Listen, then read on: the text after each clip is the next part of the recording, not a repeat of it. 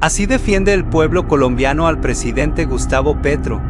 Este es un día de fiesta, de apoyo a la reforma que no han querido los corruptos eh, aprobar. Quiero felicitar a mi pueblo inteligente. Nosotros sabemos que lo que queremos los mayores es dejarle un país viable a nuestros nietos y a nuestros descendientes. Ninguna palabra que lastime a los demás, ni siquiera a los opositores, pero que aprendan. Esta es la fiesta de la alegría. Este es, es un carnaval de la posibilidad. Amo a Petro y no sigo hombre. El día que no sea coherente. El día que no sea coherente y se salga de la línea y nos engañe, no va más Miriam. Pero hasta ahora súper feliz.